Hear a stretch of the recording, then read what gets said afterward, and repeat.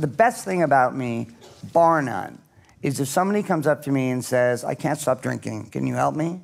I can say yes. I've said this for a long time. When I die, I don't want friends to be the first thing that's mentioned. I want that to be the first thing that's mentioned. And I'm going to live the rest of my life proving that. I'll be there for you.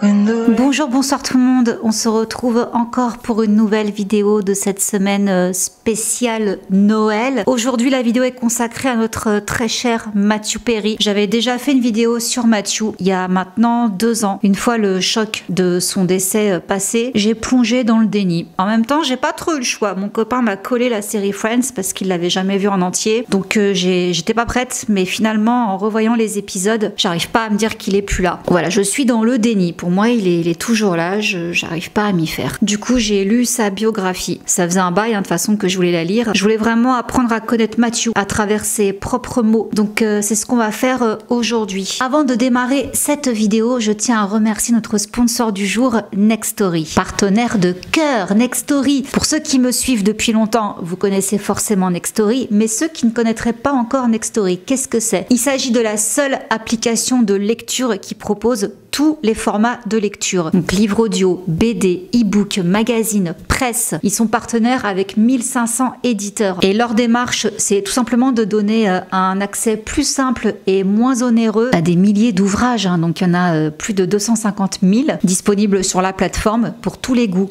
pour tous les âges. Donc il y a de la SF, il y a de la fantasy, il y a de la romance, il y a même des recettes, des guides de voyage. Bref, vous ne pouvez que trouver votre bonheur sur cette application. Et comme d'hab, hein, je vous fais quelques petites recommandations. Voilà, ça va être un peu une recommandation groupée parce que bon bah c'est Noël, hein, voilà.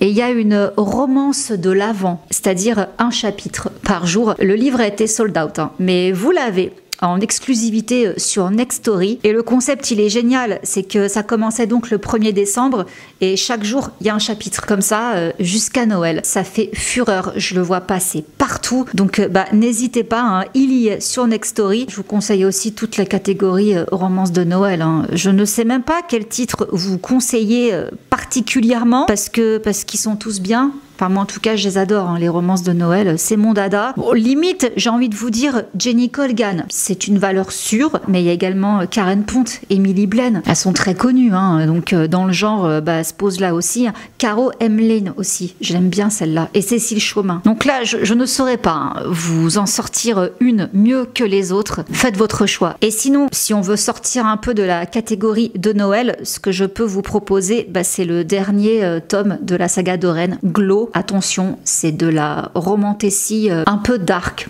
quand même, donc il y a des trigger warnings, hein, faites attention. Et sinon, dans un registre beaucoup moins gai, mais quand même très intéressant, je vous recommande Tout va bien de Charlie Genmore. C'est de l'illustré. Ça traite de dépression chronique. C'est pas sujet joyeux, hein, surtout pour cette période-là euh, des fêtes, mais au pire, mettez-le de côté, hein, euh, voilà, parce que il vaut euh, vraiment le coup et il est disponible sur Nextory. Donc, pour découvrir toutes ces petites merveilles et bien plus encore, vous avez le lien qui s'affiche juste ici pour profiter des 45 jours offerts. Je vous le mets également en barre d'infos, vous inquiétez pas. Et vous pourrez vous faire vous-même votre propre idée de cette application découvrir tout ce qu'elle a à offrir. Moi, je vous incite hein, toujours ici à vous lancer dans la lecture si c'est pas trop votre truc, sautez le pas. L'audio, généralement, c'est un bon compromis si on n'aime pas trop lire. Donc, euh, bon, bah voilà. Merci encore Nextory d'avoir sponsorisé cette vidéo et c'est parti donc avec l'histoire de Matthew Perry. Déjà, la dédicace de son livre à tous ceux qui souffrent et qui se reconnaîtront. Il n'a pas écrit euh, ses mémoires pour rien. C'était vraiment dans le but euh, d'aider les gens. Et la préface est de Lisa Kudrow. Elle raconte qu'en fait, tout le monde lui demandait toujours comment va Mathieu, comment va Mathieu, comment va Mathieu? Bon bah voilà ce qu'elle dit. Plus personne n'a besoin de me demander ni de demander à quiconque comment va Mathieu, car il le dit très bien lui-même. Il a survécu contre toute probabilité et j'ignorais totalement qu'il avait failli y rester à de si nombreuses reprises. Je suis suis heureuse que tu sois là, Mathie. Bravo, je t'aime, Lisa. Le livre démarre avec euh, un épisode très très dur qu'il a vécu où euh, son côlon a explosé. Ah, donc il a failli y rester. Après, il revient sur sa vie, mais il y a toujours un interlude où il revient euh, sur cette période-là. Donc c'était un peu perturbant parfois de passer un nouveau chapitre et de se dire ah oui d'accord, on est revenu donc euh, au moment où il a donc eu cet accident-là. D'accord. Ça m'a un peu perturbé, mais bon après euh, on s'en fiche, c'est pas grave. Mais déjà en intro, salut, je m'appelle Mathieu, même si vous me connaissez probablement mieux sous un autre nom. Mes amis m'appellent Mathie et je devrais être mort depuis longtemps. D'une certaine façon, vous pouvez considérer la première histoire que je m'apprête à vous raconter comme un message de l'au-delà, de mon propre au-delà. J'étais pas bien quand j'ai lu ça, euh, autant vous dire que je me suis dit oui, bon, lire ça après qu'il soit parti, euh, ça n'a plus le même écho. C'est étrange de vivre dans un monde où tout le monde serait triste que vous mouriez, mais où personne ne serait surpris. Je ne peux m'empêcher de me poser cette question brûlante. Pourquoi suis-je en vie? Je pense que c'est lié au fait que j'aide les gens. J'en suis convaincue, c'est la seule chose qui me fasse me sentir vraiment bien. Donc qu'est-ce qui l'a rongé? Une idée particulière. J'ai ces idées insupportables. Je ne suffis pas, je ne compte pas, j'ai trop besoin des autres. Si je tombe le masque, le Chandler, et vous montre qui je suis vraiment, je vous plairai peut-être. Mais il y a pire, je vous plairai peut-être et vous me quitterez. Et ça, c'est impossible, je n'y survivrai pas. Plus maintenant, ça me pulvériserait, me détruirait. Je vous quitterai donc en premier. Ça, c'est important parce que c'est la pensée qui va l'obséder tout au long de sa vie et qui va l'amener à faire des choix, notamment euh, au niveau des femmes. hein. C'est pour ça en fait qu'il a aucune relation qui a fonctionné. Alors, petit retour euh, dans sa, plus tendre enfance, quand il est né. Il est né avec des coliques et c'était l'horreur. Il n'arrêtait pas de pleurer, tout ça. Du coup, les médecins, euh, au bout d'un mois seulement, donc il n'avait qu'un mois, ils ont donné à ses parents euh, des barbituriques pour le calmer. Donc, il dit que finalement, il a commencé à tisser un lien hein, avec ce genre de substance bah, dès la naissance, quoi. I know that it affected my sleep forever. I don't really sleep that well, and I'm pretty sure it's because of that. Quel type d'enfant Mathieu était Il dit que c'était euh, le showman. Il était euh, tout le temps en train d'essayer de faire plaisir à tout le monde. Son père les a quittés, donc il les a ramenés à la frontière canadienne où le grand-père attendait. Il a déposé euh, Mathieu et sa mère et il est parti. Donc il s'est retrouvé seul avec sa mère, donc il essayait de pas être un enfant euh, trop encombrant, mais il avait besoin d'attention. Donc bah, il faisait un peu le pitre, quoi. Il essayait de faire rire. Pour autant, il souligne quand même que ça a été compliqué les rapports avec sa mère parce qu'elle travaillait énormément. Elle avait décroché un travail. Elle travaillait pour le premier ministre canadien, le père de Justin Trudeau. Il a pas très bien vécu cette période-là. Il s'est même euh, battu avec euh, Justin Trudeau.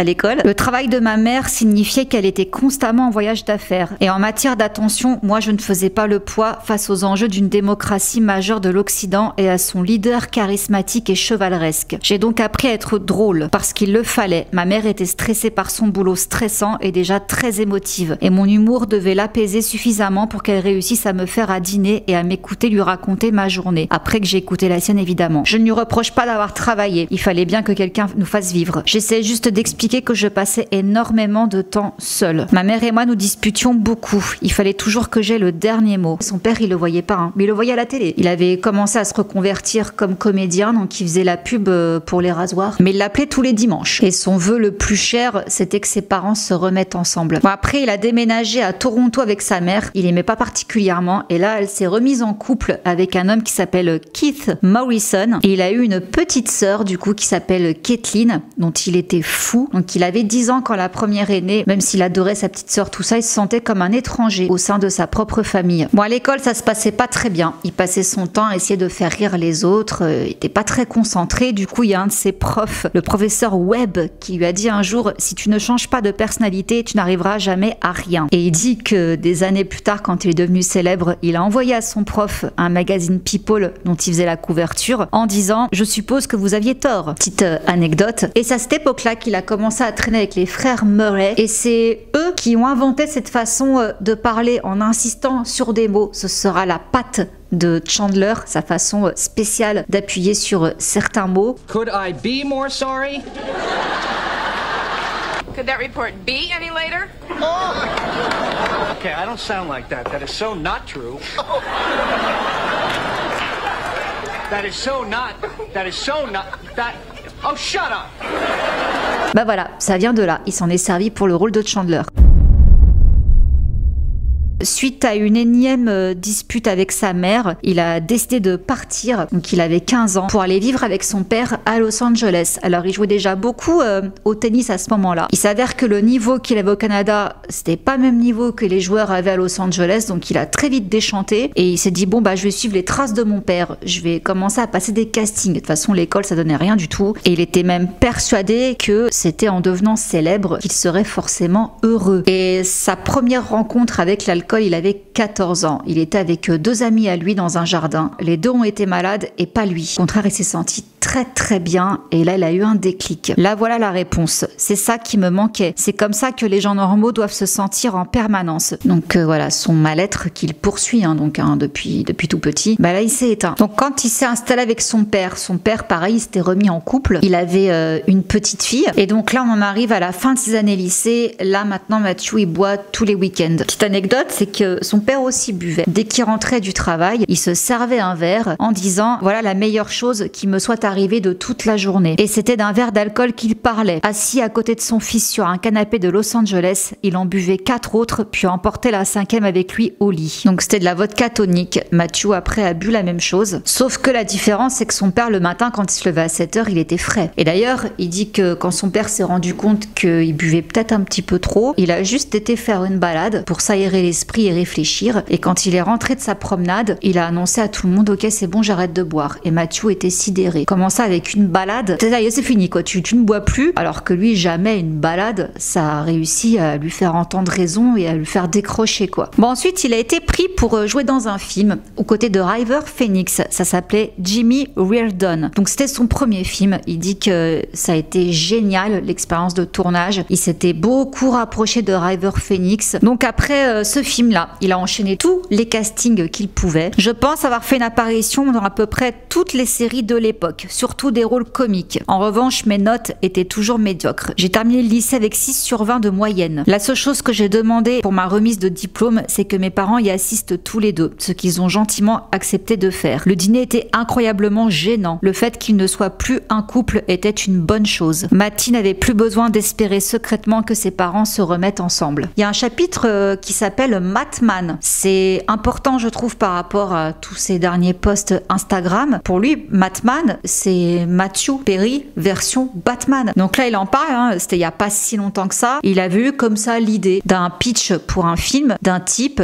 qui aurait été anciennement célèbre grâce à une grande série, exactement comme lui, et qui se retrouverait euh, bah, maintenant comme ça, là, à rien faire, euh, entouré de boîtes de cartons de pizza, etc. Mais qui aurait un héritage qui lui tomberait dessus de 2 milliards et qui déciderait du coup de devenir un super-héros. Il avait soumis cette idée-là à quelqu'un qui connaissait pour savoir, euh, ouais alors, est-ce qu'à ton avis ça ferait l'objet d'un bon film et tout? Si c'est oui, qu'est-ce qu'on fait après? Il est fan de super-héros, Matthew Perry, donc, et surtout de Batman. Donc c'était une idée comme ça qui lui était passé par la tête. Bon, retour euh, à ses années galères avant qu'il connaisse le succès. Il s'est fait un petit groupe d'amis composé de Hank Azaria, qu'on a vu aussi dans Friends, mais également de David Pressman et de Craig Bierko. Et ils étaient tous les quatre à courir après la célébrité, quoi. Donc ils couraient les castings, tout ça, et ils passaient beaucoup de soirées ensemble, notamment dans un club qui s'appelait le Formosa Café. Il s'est rendu compte un jour où il a dormi chez une amie qu'il voulait encore boire. Il n'y avait pas d'alcool chez elle, du coup il a pas dormi de la nuit. Et c'est là qu'il a compris qu'il était obsédé par l'alcool. Ça, c'était nouveau, ça, c'était différent, c'était terrifiant, et ça, c'était un secret. Sans que je m'en rende compte, l'alcool était devenu le gouvernail de ma vie. Il me permettait de contrôler mes sentiments et donc de contrôler mon monde. Comme un ami, il était là pour moi, et j'étais à peu près certain de devenir fou sans alcool. Alors après, il a décroché un rôle dans la première saison de Beverly Hills, puis ensuite il a décroché euh, d'autres rôles, dont Seconde Chance. Il a passé l'audition avec son père, parce que donc il y avait le rôle pour le fils c'est le rôle du père. Sauf que bah, son père lui a annoncé que lui, Mathieu, était pris, mais lui, non. Malgré que son père euh, l'ait félicité, tout ça, il est jamais venu le voir euh, sur le tournage. Le dernier jour, il est venu le voir et il a senti qu'il y avait une tension depuis entre son père et lui. Une tension qui a mis euh, deux ans à s'apaiser. Son père avait beau être content pour son fils, quelque part, il l'a pas trop digéré que son fils ait eu le rôle et pas lui. Voilà, parenthèse. Et il a fini par décrocher un rôle récurrent deux ans plus tard dans la série intitulé Sydney. On en arrive à l'audition de Friends. Juste avant, Matthew Perry s'était retrouvé euh, dans la dèche hein, financièrement. Du coup, bah, il s'est dépêché d'essayer de trouver un rôle quelque part. Donc il a été pris dans une série qui s'appelait L'Axe 2194. Euh, C'était très mauvais, hein, comme il le dit. Et c'est à ce moment-là donc qu'ont démarré les castings pour la série Friends, initialement appelée Friends Like Il a fini par avoir le scénar entre les mains et il s'est dit mais il faut absolument que j'auditionne le rôle de Chandler, il est juste pour moi quoi. Sauf qu'il était tenu sous contrat avec euh, cette série donc il ne pouvait pas aller travailler ailleurs. Ça l'a rendu dingue. J'étais dévastée. En lisant le script de Friends Like Us, j'ai eu l'impression que quelqu'un m'avait suivi pendant un an, avait piqué mes blagues, copié mes tics, pris en photo ma vision désabusée mais drôle du monde. Un personnage m'intriguait particulièrement. Je n'aurais pas pu jouer Chandler.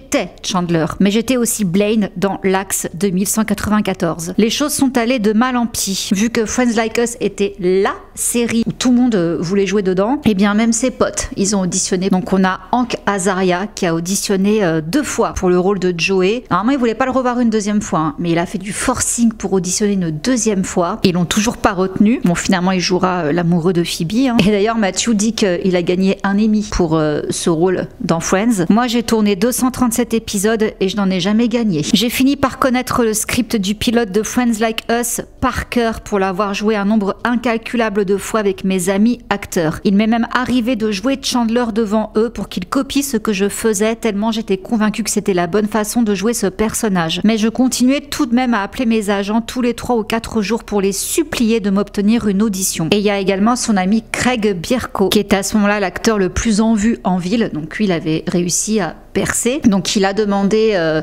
à Mathieu et à Hank de le rejoindre dans un café. Ils y ont été et il leur a dit les gars, on me propose deux séries, Best Friends et Friends Like Us. Bon, Mathieu il avait la rage. On lui proposait le rôle de Chandler. J'étais effondrée, mais nous avons tous les deux dit à Greg de choisir Friends Like Us. Et il s'avère qu'au final, quand il a passé le coup de fil à son agent, il a choisi de faire la série Best Friends. Ça a créé un froid, autant vous le dire, euh, quand finalement Mathieu a décroché le rôle de Chandler.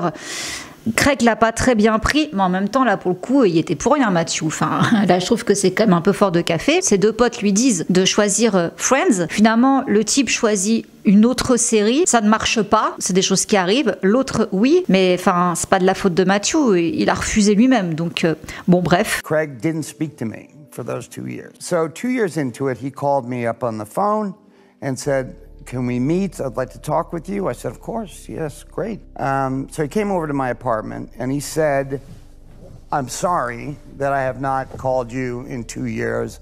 I could not handle that you got rich and famous on a show that I turned down. It doesn't do what we, we all thought it would do. And he didn't believe me, nor would anybody believe me. But it was true. That's why I said to him, I wanted to help him out. I wanted to say, you know, it, it's not, it doesn't solve the problem. Finalement, il a réussi euh, à se dépatouiller de la série parce qu'elle n'avait aucun avenir. Donc, il a pu passer l'audition pour Friends et il s'est même pointé au casting sans script, tellement qu'il connaissait tout par cœur. Je répétais mes dialogues d'une façon inattendue, en insistant sur des mots sur lesquels personne n'avait pensé à insister. J'étais de retour à Ottawa avec les Murray. J'obtenais des rires là où personne d'autre n'en avait obtenu. Trois semaines avant mon audition pour Friends, j'ai fait une prière. Dieu, tu peux faire tout ce que tu veux de moi, mais par pitié, rends-moi célèbre. Trois semaines plus tard, j'ai décroché le rôle de Chandler dans Friends. Dieu avait rempli sa part du contrat, aucun doute, mais le Tout-Puissant, étant Tout-Puissant, n'avait pas oublié pour autant la première partie de ma prière. Aujourd'hui, toutes ces années plus tard, je suis certain que je suis devenu célèbre pour ne pas gâcher ma vie à essayer de le devenir. Il faut être célèbre pour comprendre que ce n'est pas la réponse, même si les gens qui ne le sont pas n'y croient jamais vraiment. Ça allait être énorme, et je crois que nous le sentions tous, parce que nous sommes tous arrivés pile à l'heure ce matin-là. Matt Leblanc est arrivé le premier, comme tous les jours qui suivraient, et Aniston la dernière, comme tous les jours qui suivraient. Alors les raconte euh, comment s'est passée la première lecture de table, et il parle de Jennifer Aniston. Il l'avait rencontrée via des amis en commun trois ans auparavant. Il avait été tout de suite attiré par elle. Comment ne pas l'être, hein, comme il dit. J'avais eu l'impression de l'intriguer moi aussi. Je me disais qu'on sortirait peut-être ensemble un jour. À la même époque, j'avais décroché deux boulots en une seule journée. Le premier dans Hairwire, une émission à la vidéo gag, et le second dans une sitcom. Je m'étais empressée d'appeler Jennifer pour le lui dire. Tu es la première personne à qui j'ai envie de partager ça. Mauvaise idée. J'avais senti le vent glacial à travers le combiné du téléphone. Je l'ai invitée à sortir, elle a refusé. Elle m'a dit qu'elle adorait que nous soyons amis et j'ai aggravé l'aggravation en m'écriant mais on ne peut pas être amis. Uh, the great thing about having Chandler as a friend is that I get to have a relationship with a guy where there is absolutely no sexual tension. None? Not really. Interesting, because I uh, felt the other night when we went to that barbecue place, you were kind of looking at me, kind of. No, I was looking at you because you had that huge piece of corn in your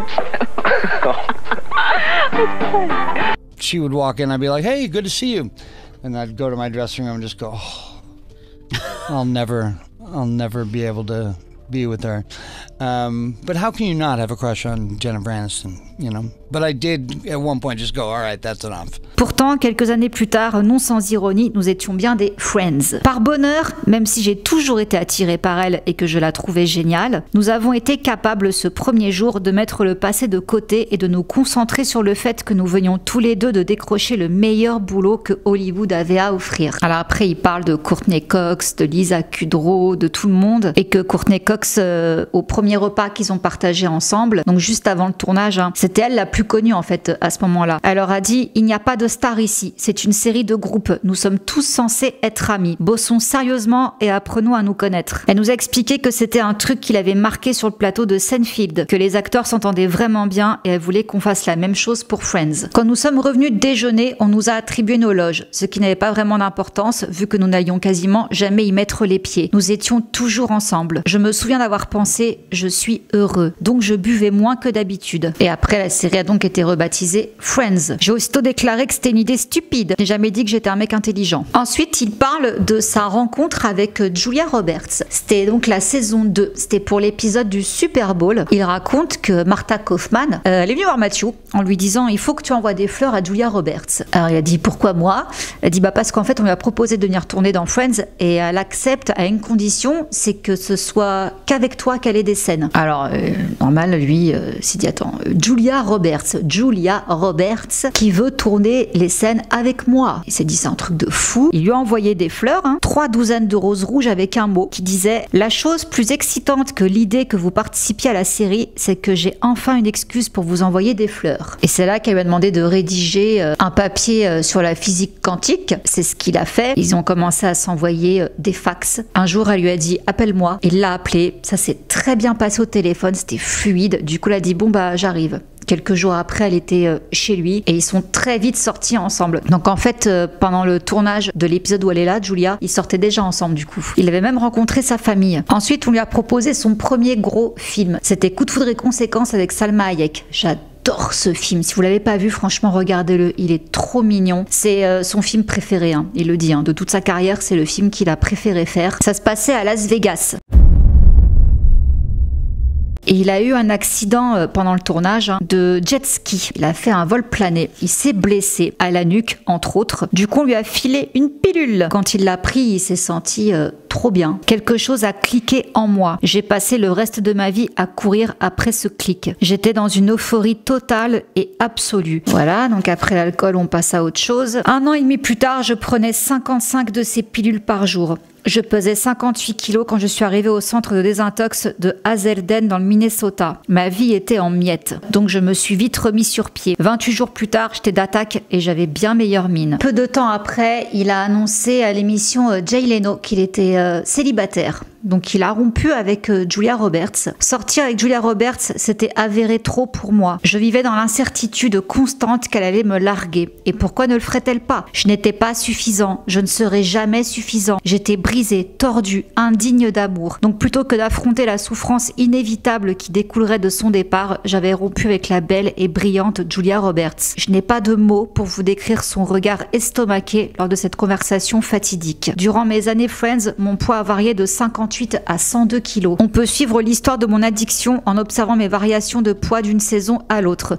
Quand je suis gros, c'est l'alcool. Quand je suis mince, ce sont les pilules. J'ai très vite signé pour un autre film, Almost Heroes, une comédie avec Chris Farley. Donc je tournais Friends et Almost Heroes en même temps. J'étais épuisée. Les pilules n'avaient plus l'effet du début. Je devais en prendre un certain nombre juste pour ne pas être malade. J'étais en train de mourir et je ne pouvais en parler à personne. Puis Chris Farley est mort. Sa maladie avait progressé plus vite que la mienne. J'ai donné un coup de poing qui a laissé un trou dans le mur de la loge de Jennifer Aniston quand j'ai appris la nouvelle. J'ai dû faire la promo d'Almost Heroes deux semaines après sa mort et je me suis retrouvée à parler en public de son décès dû à la drogue et à l'alcool. Et j'étais défoncée tout du long. Mais il a quand même été en cure. Donc c'était sa première. Il avait 26 ans. De retour en Californie, j'ai tenu 68 jours. Et puis j'ai bu un verre. Et j'ai bu tous les soirs jusqu'en 2001. Je me souviens m'être endormie un jour sur le canapé au beau milieu d'une scène au Central Park. La catastrophe n'a été évitée que grâce à Matt Leblanc qui m'a filé un coup de coude pour me réveiller juste avant ma réplique. Et puis j'ai eu une pancréatite. J'avais 30 ans. Alors là,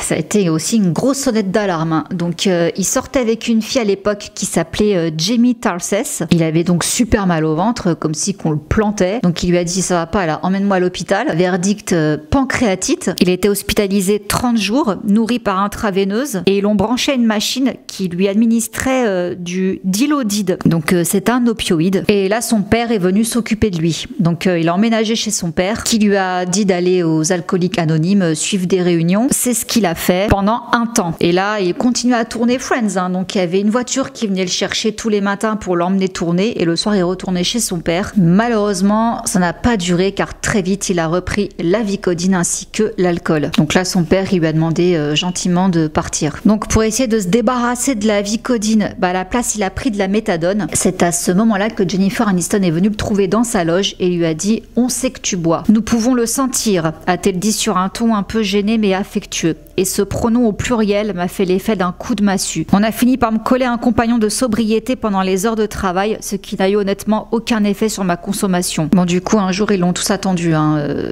dans sa loge et ils ont dit Qu'est-ce que tu fais, Mathie Je n'ai pas bu ce soir-là, mais quand je suis revenue sur le plateau le lendemain, j'ai bien compris que j'étais dans une position délicate. J'ai aussitôt appelé mon manager. Il faut que tu me trouves un film tout de suite. Il faut que tu me sortes d'ici. Du coup, il est allé tourner au service de Sarah. Ça a été euh, l'hécatombe. Bon, déjà, c'était un mauvais film, mais comme il le dit lui-même, hein, il était en plus très mauvais dedans. J'ingurgitais de la méthadone, du Xanax, de la coco et une pinte de vodka par jour. Jamie Tarses, la belle, incroyable et affectueuse et géniale Jamie Tarses, m'a rejoint au Texas pour jouer les infirmières. On a l'impression que tu es en train de disparaître, m'a-t-elle dit. Je ne veux pas disparaître, on arrête tout. Du coup, il a appelé son manager, son père, il a appelé tout le monde. Il a dit j'ai besoin d'aide, il faut que j'aille en cure. Du coup, ils ont arrêté le tournage au service de Sarah. Ça lui a coûté 650 000 dollars, un petit prix à payer pour avoir la vie sauve. Mes scènes dans Friends ont été repoussées à plus tard et je suis partie en cure cette fois à Marina Del Rey. Je suis restée un mois et c'est là qu'il a découvert le gros livre des alcooliques anonymes qui lui a fait beaucoup de bien. J'ai refermé le livre et je me suis mis à pleurer. Je n'étais pas seule. Il y avait tout un tas de gens qui fonctionnaient comme moi. J'étais alcoolique et j'allais devoir arrêter de boire et de me droguer tout de suite, puis un jour après l'autre tous les jours pour le restant de ma vie. Au bout de trois mois, j'ai commencé à me sentir mieux. Je vivais au centre quand Monica et Chandler se sont mariés. Nous étions le 17 mai 2001. Bon, il a essayé du coup de faire amende honorable hein, par rapport au film euh, parce qu'à ce qui paraît, Elisabeth euh, Hurley était furieuse contre lui. Il a dû même euh, refaire le doublage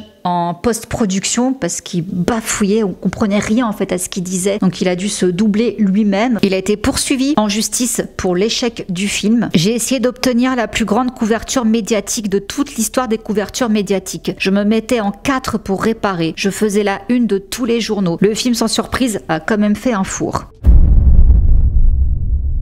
Et donc suite à ça, euh, là ça fait trois mois que Matthew est sobre, ça va beaucoup mieux. Du coup, qu'est-ce qu'il fait? Il rompt avec sa petite amie Jamie Tarsis. Donc que les choses soient bien claires, en guise de remerciement, j'ai rompu avec la merveilleuse Jamie, qui depuis deux ans avait sacrifié des pans entiers de sa vie, pourtant bien occupée pour en gros être mon infirmière. Dans ma vie constellée d'erreurs, je pense que celle-ci est l'une des plus graves. À cette époque, j'ai rencontré au moins cinq femmes que j'aurais pu épouser et avec qui j'aurais pu fonder une famille. Si j'avais j'avais sauté le pas rien qu'une fois, je ne serais pas assis aujourd'hui dans cette gigantesque maison qui surplombe l'océan et que je ne partage avec personne. Et le coup de massue, ça a été quand l'une de ses ex, Natacha, ils étaient restés amis et un jour elle l'appelle en lui disant je suis maman. Et ben, il était content pour elle, hein, bien sûr. Mais là, comme il dit, j'étais comme frappée par la foudre. Elle aurait pu avoir cet enfant avec moi. Et puis j'ai commencé à pleurer comme une fontaine. J'étais tellement triste et tellement seule. Parallèlement à ça, il euh, commence également à aider euh, les alcooliques via les réunions auxquelles il assistait. hein. La neuvième saison a été la seule que j'ai tournée complètement sobre. Petite devinette, à quelle saison ai-je été nominée pour l'Emmy du meilleur acteur dans une comédie? Eh ouais, la neuvième. Si les choses ne sont pas claires avec ça, elles ne le seront jamais. Ces deux années sont passées à toute vitesse. Au-delà de Friends, au-delà de la star de cinéma, au-delà de tout, j'étais sur Terre pour aider les gens à rester sobres. Qu'est-ce qu'il y a à nouveau tout refait, foiré? Il sortait avec une fille. Il l'avait prévenu que c'était pas pour du sérieux, sauf qu'elle s'est attachée à lui. Et quand il a rompu avec elle, il était euh, chez elle. hein, et là, sur euh, une table de chevet, il y avait une boîte de Vicodine. Trois pilules égarées m'ont lancé des appels de phare. Elle était enfermée dans la salle de bain, en train de hurler, je ne pouvais pas gérer cette situation. Donc j'ai pris trois pilules. Et si la nuit s'est bien passée, je venais tout de même de mettre un terme à deux ans de sobriété. J'étais à nouveau profondément dans la mouise. Donc ça a recommencé, ça plus l'alcool. Et là arrive euh, mon voisin le tueur. Donc euh, sa rencontre avec Bruce Willis, avec qui il s'est éclaté. Il a fait des grosses fiestas avec Bruce. Mais comme il le dit, Bruce, il pouvait euh, bien euh, lever le coude, mais le gars savait s'arrêter. Lui, il y arrivait pas. Après, il parle du pari qu'il a fait avec Bruce parce que il disait que mon voisin le tueur allait pas si bien marcher que ça. Et il lui a dit, écoute, je te parie qu'il va cartonner. Donc, euh, si jamais c'est le cas, tu viens jouer dans Friends. Bon, bah, mon voisin le tueur a été numéro 1 au box-office. Du coup, Bruce est venu tourner trois épisodes dans la série Friends. J'y étais arrivé. Mon rêve depuis la troisième s'était enfin réalisé. Certes, mon voisin le tueur n'était pas retour vers le futur, mais Michael J. Fox et moi étions les deux seules personnes à avoir eu le film numéro 1 et la série numéro 1 en même temps. Cependant, mon addiction était hors de contrôle. J'étais arrivé à un point où j'étais pratiquement incapable de quitter la maison. Quatre ans plus tard, on a tourné Mon voisin le tueur 2. Si le premier avait marqué le début de ma carrière de star de cinéma, on peut à bon droit dire que cette suite en a été la pierre tombale. Donc là, c'est la fin de Friends. Matthew est en sevrage. Ça fait 8 mois qu'il prend de la buprenorphine. Il a pas pleuré. Quand ça s'est arrêté, il ressentait rien. Friends avait été un refuge, un havre de paix pour moi. La série m'avait donné une raison de me lever le matin et une raison d'y aller un tout petit peu moins fort la veille au soir. C'était le meilleur moment de notre vie. Par la suite, on a pu le retrouver dans Ali McBeal, mais également dans À la Maison Blanche. Et il a également fait un téléfilm qui s'appelle The Ron Clark Story. Et il dit il n'y avait pas une seule blague dans tout le film. Et le sérieux de l'ensemble lui a limite fait péter les plombs. Du coup, quand ça tournait pas, bah, il faisait des blagues. Mais le film a cartonné. Il a été nominé pour un Golden Globe ainsi qu'un Emmy et même un SAG. Mais malheureusement, ça a été éclipsé par le foirage de mon voisin le tueur 2, donc qui est sorti euh, juste après ça. Et là, euh, bah, comme il dit, hein, il a été tricard d'Hollywood. Il a lutté pour ne pas retomber dans ses vices parce que là, il a commencé par contre à vraiment s'ennuyer. Il avait plus de boulot. Et là, donc, il reparle euh, de sa relation qui a duré euh, 6-7 ans. Alors, il y avait quand même une différence d'âge. Elle avait 23 ans, lui, il en avait 36. Et justement, à cause de cette différence d'âge, au début, quand ils se sont rencontrés, lui, euh, c'était pas fait pour durer, quoi. C'était une relation, du coup, qui était euh, uniquement euh, physique, mais qui a duré. Et ça a été, du coup, bah, sa plus longue relation hein, qu'il a eue. Et avant que ça se termine, il a tourné dans un projet. Il était super excité par ce projet. Ça s'appelait Studio 60 on the Sunset Trip. C'était une nouvelle série d'Aaron Sorkin. Sauf que ça n'a pas été de la tarte parce que ce réal, il n'était pas du tout ouvert aux propositions. Il n'y avait pas de place non plus pour l'improvisation. C'était le script tel qu'il est écrit et faut le jouer tel qu'il a été écrit. Il n'y a pas de place pour autre chose. Donc c'était un peu frustrant pour un acteur comme euh, Matthew Perry euh, de se retrouver dans cette situation. Du coup, bon bah la série n'a pas marché et pour couronner le tout, bah sa copine, euh, il a failli la demander en mariage. Il lui avait fait un beau cadeau déjà, une peinture de E2. Arrivé le moment de la demande en mariage, il s'est dégonflé. Il n'a pas réussi. De plus, notre différence d'âge était devenue un problème. Elle voulait tout le temps sortir et faire des trucs et moi j'aspirais à une vie plus posée. Bon, du coup, il s'est noyé dans le travail à nouveau, donc il a créé une série qui s'appelait Mr. Sunshine. Il a créé une boîte de prod aussi, Anedonia Productions. Bon, malheureusement, Mr. Sunshine, ça n'a pas marché. Du coup, bah, il a rechuté. Il a enchaîné une autre série qui s'appelait Go On. Encore une fois, ça a démarré sur les chapeaux de roue, mais ça n'a pas tenu. Donc, il est reparti en désintox euh, dans l'Utah. Et il a fait la rencontre d'un thérapeute qui compare un peu à Maître Yoda. Il lui a expliqué qu'il aimait le drame et le chaos qu'entraînait son problème d'addiction. Bon, ça s'est pas très bien passé au centre euh, où il était parce qu'il essayait de voir des dealers à l'extérieur et tout pour avoir des médicaments que l'hôpital ne lui donnait pas. Du coup, ils l'ont viré. Il a été ailleurs, au Cirque Lodge. Il fallait que je me détache de tout ce qui me faisait du mal, comme continuer à être en colère contre mes parents, ne pas être suffisant, être terrorisé par l'engagement parce que j'étais terrorisé par la fin de l'engagement. Besoin de me rappeler que mon père était parti parce qu'il avait peur et que ma mère était une gosse qui essayait juste de faire de son mieux. J'avais besoin de comprendre que quand je mourrais, il fallait que mon rôle dans Friends soit tout en bas des choses que j'avais accomplies. Et donc, suite à ça, il a eu un parrain de sobriété dont il était très proche, c'est devenu son meilleur ami, mais il a eu le malheur de mélanger euh, ça avec le business. Donc ce type s'appelait Earl. Ils ont monté ensemble une boîte qui devait ouvrir des maisons de sobriété qu'il gérerait dans les environs de Los Angeles. Donc Matthew a investi 500 000 dollars dans l'entreprise et il a transformé sa maison de Malibu en une maison de sobriété, la Perry House. Obama lui a même décerné un prix, celui de champion du rétablissement. Il a été invité au Pierce Morgan Live pour parler des questions de l'addiction et de la désintoxication. Donc là, les choses commençaient à à nouveau très bien se passer pour lui. Malheureusement, la Perry House s'est mise à battre de l'aile. Trop peu de gens s'y rendaient. C'était trop cher. Du coup, il a dû vendre sa propriété. Et quand il a déjeuné avec ce fameux Earl pour lui demander euh, bah, de lui rendre son argent, et bah, il l'attend encore, comme il dit. Donc euh, voilà, fin de leur amitié. J'ai donc ouvert mon ordi et j'ai commencé à écrire. C'était une pièce, The End of Longing. Donc elle a été jouée à Londres. Elle a bien marché d'ailleurs euh, à Londres. Ensuite, la pièce a été jouée à New York. Elle a été moins bien accueillie qu'à Londres. Bon, par la suite, il a fait l'erreur de sortir avec deux femmes en même temps. Il les a aimées toutes les deux de façon différente, mais il n'avait pas à se décider, il n'avait pas à choisir. Bon, ça a fini par se terminer hein, en même temps. Il a perdu les deux. Et là, il se battait encore avec les addictions, donc il était en maison de sobriété à Malibu. Et c'est là où les choses ont pris un tournant euh, catastrophique.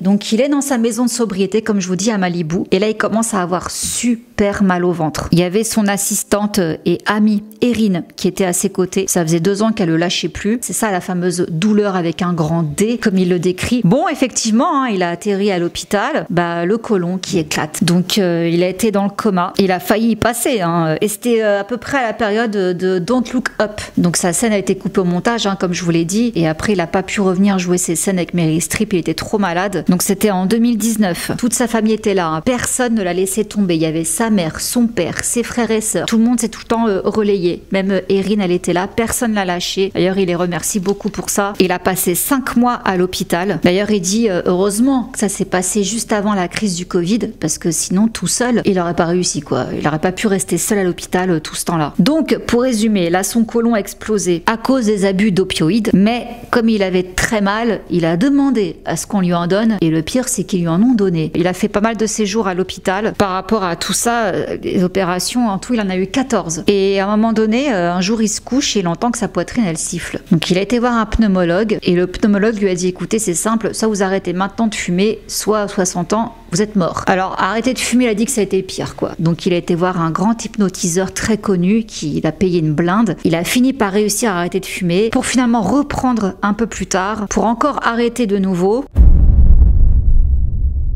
Et là, il y a donc tout un chapitre qui s'appelle Batman. J'ai toujours cru qu'à 53 ans, je serais en train de jouer à des jeux aussi idiots que drôles avec une ribambelle de gamins adorables courant dans tous les sens et répétant les mots inventés que je leur aurais appris pour faire rire leur merveilleuse mère. J'essaye de ne pas penser trop fort à toutes les femmes incroyables que j'ai laissées partir à cause d'une peur que j'ai mis trop de temps à comprendre. C'est tout ce que je demande, une partenaire. Je regarde l'océan et mes jours ne sont plus seulement remplis de ce manque, mais aussi plein de paix, de gratitude. Là, c'est beau ce qu'il dit son beau-père, donc le mari de sa mère. Voilà ce qu'il lui a dit un jour. Au cours des 40 années que j'ai passées aux côtés de ta mère, son attachement à toi n'a jamais failli. Elle pense à toi tout le temps. En 80, les choses ont commencé à devenir sérieuses entre nous et elle a dit quelque chose que je n'ai jamais oublié. Aucun homme ne se mettra jamais entre Mathieu et moi. Il sera toujours la personne la plus importante de ma vie. Il faut que tu l'acceptes. Et c'est vrai, il n'existe pas un seul moment où je n'ai pas ressenti cet amour. Elle reste la première personne que j'appelle. Donc il remercie remercie euh, ses parents. Il pense souvent à eux, également à ses frères et sœurs. Ils ne m'ont jamais laissé tomber, ne m'ont jamais tourné le dos, jamais. Imaginez un tel amour si vous le pouvez. Il remercie euh, tous ses partenaires de Friends et il conclut ce chapitre Batman en disant Un jour, peut-être que vous aussi vous serez appelé à accomplir quelque chose d'important. Alors tenez-vous prêt. Et quoi qu'il arrive, rappelez-vous, posez-vous juste la question que ferait Batman à ma place? Et faites-le. Donc voilà, encore une fois, une référence à Batman et à ce long chemin vers la sobriété. Donc il a fini par redevenir sobre, par écrire ses mémoires et à vraiment se consacrer euh, aux autres. Donc euh, voilà, le but euh, de Matthew Perry. Malheureusement, on en arrive donc à ce triste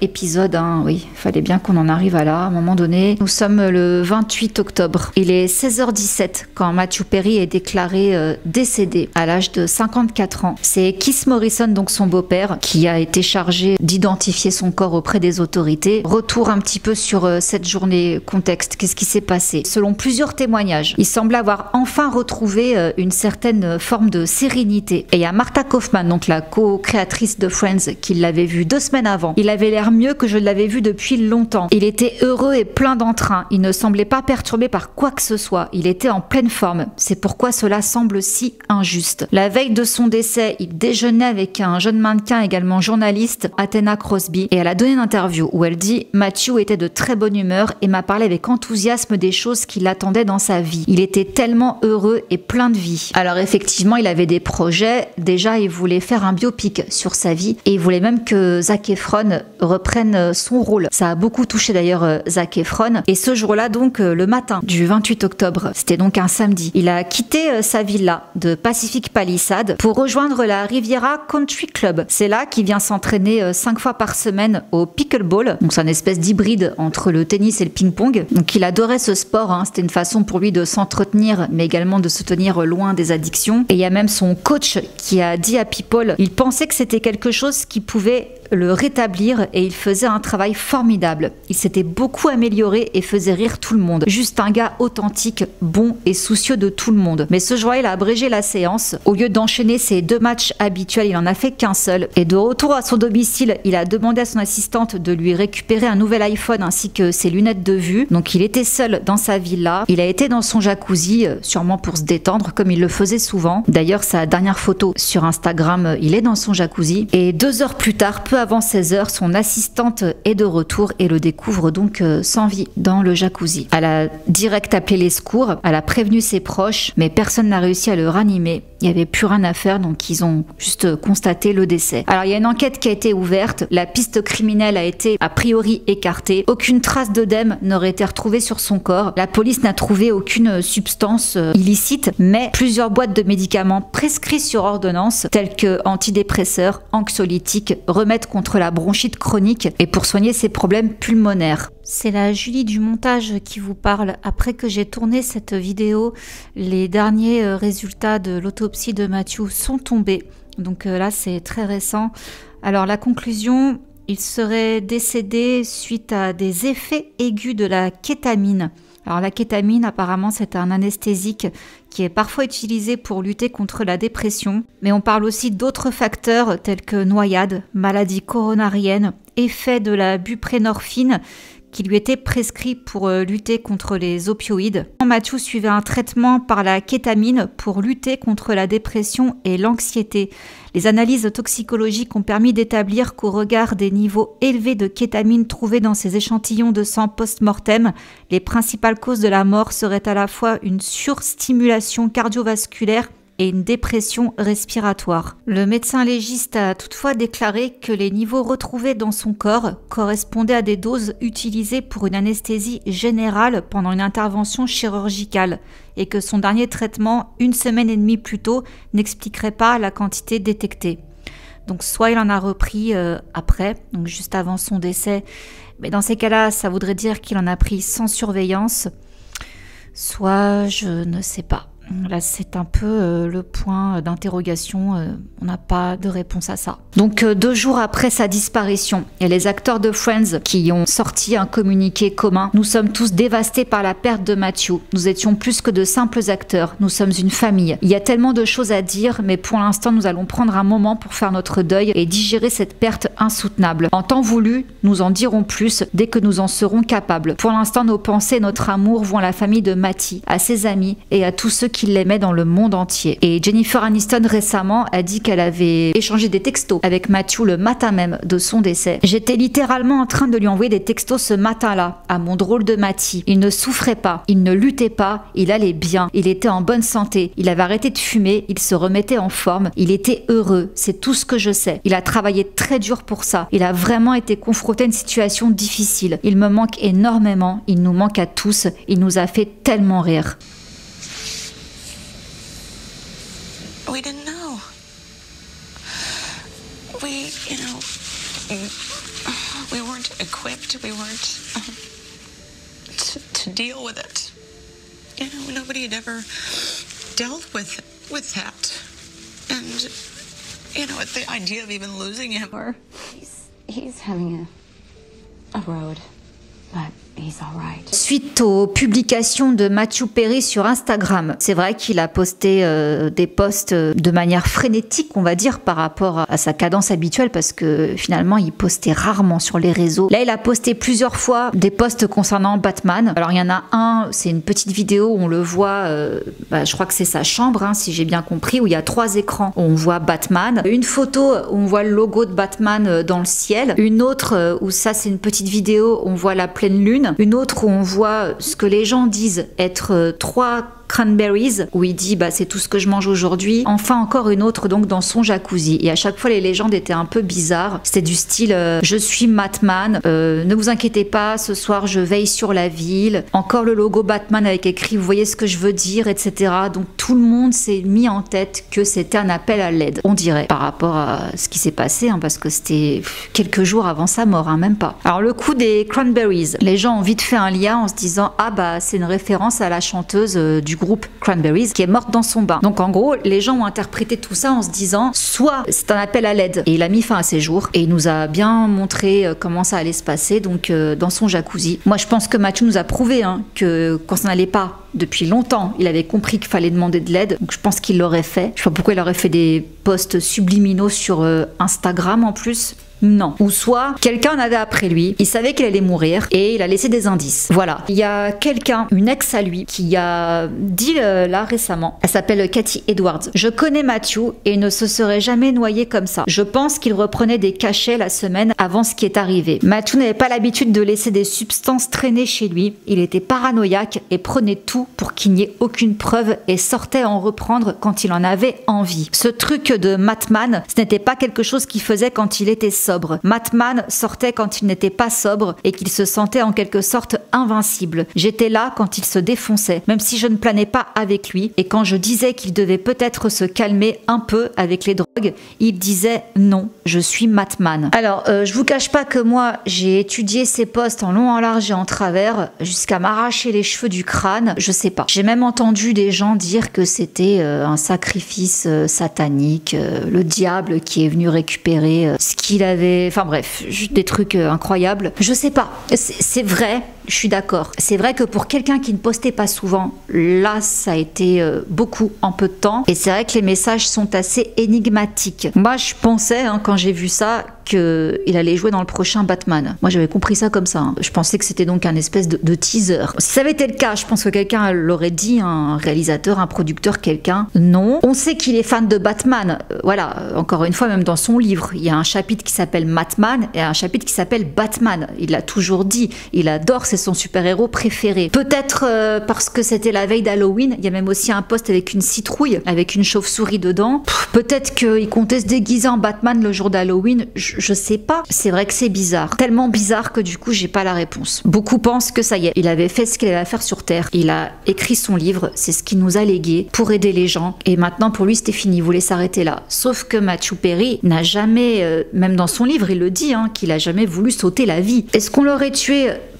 Alors là, je rentre pas par contre dans la théorie du complot, comme quoi il voulait dénoncer machin, parce que ça a jamais été euh, son délire. Il a jamais rien dénoncé du tout. Chacun sa cause, hein, comme on dit. Lui, voilà, c'était les toxicos, etc. Il gérait ça. J'ai jamais rien entendu sur Matthew Perry par rapport à un trafic humain ou pédo, vous avez compris Non, euh, là-dessus, je crois pas du tout à, cette théorie-là. C'était pas une menace, en tout cas pas à notre connaissance. hein. Mais c'est vrai que c'est bizarre. Donc euh, voilà, je ferme la parenthèse là-dessus parce que c'est pas la peine d'épiloguer 107 ans, mais je ne comprends quand même pas ses postes. Je vous le cache pas. Il a été inhumé le 3 novembre dernier au cimetière Forest Lawn à Los Angeles. Ils ont diffusé son titre préféré lors de la cérémonie Don't Give Up ne baisse pas les bras de Peter Gabriel. Bon, il y avait tout le casting de Friends, hein. ses parents, ses frères et sœurs, ses amis les plus proches. En Casaria aussi, il était là. Personne n'a versé plus de larmes pour Matthew que Jennifer, à ce qui paraît. Elle s'est mise un peu à l'écart lors de la cérémonie. Et d'ailleurs, à ce qui paraît, elle s'est énervée. Jennifer Aniston avant les funérailles, après Meghan Markle qui a voulu s'incruster. Elle a contacté euh, son agent, elle a le même que Jennifer Aniston. Donc elle est passée par son agent pour euh, essayer de demander à Jennifer si elle pouvait venir euh, à l'enterrement. Alors Jen, non, elle a dit non mais faut pas déconner quoi, c'est pas le Met Gala, c'est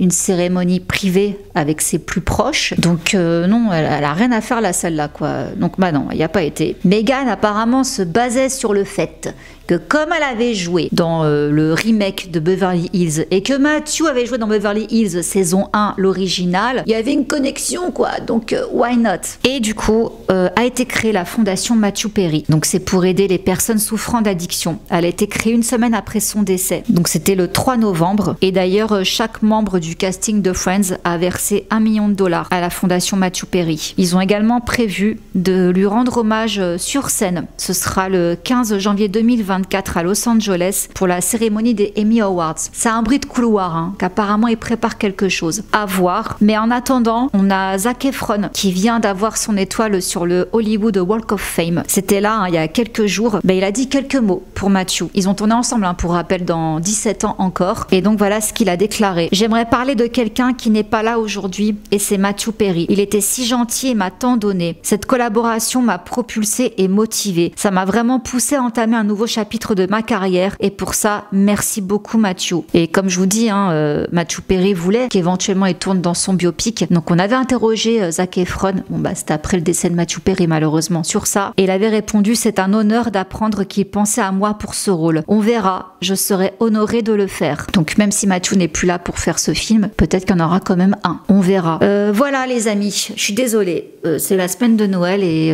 là on est en plein milieu et on se quitte pas sur une note joyeuse. Gardons de lui que des bons souvenirs. Je suis mitigée en fait. J'ai été contente et pas contente de me plonger dans sa biographie parce que j'ai eu l'impression de passer encore un moment avec lui inédit parce que je l'avais jamais lu et pas contente euh, en même temps enfin triste parce que je savais que sa vie euh, était triste hein. j'avais parlé de tout ça dans mm, la première vidéo que j'avais fait sur lui j'avais même dit euh, foutez-lui la paix parce qu'on l'avait critiqué lors de la réunion tout ça et encore voilà je, ne savais pas tout c'est lourd mais je vous recommande vraiment de, découvrir cette euh, autobiographie, ces mémoires. Ça permet justement de mieux comprendre. Je vous souhaite encore de belles fêtes de fin d'année, même ceux qui ne fêtent pas Noël. Hein. Bonne fête euh, quand même de fin d'année. Merci encore à Nextory d'avoir sponsorisé cette vidéo. Donc n'oubliez pas, le lien est là, mais aussi en barre d'infos pour profiter de l'offre dès 45 jours. Je vous fais plein de gros bisous et je vous dis à demain.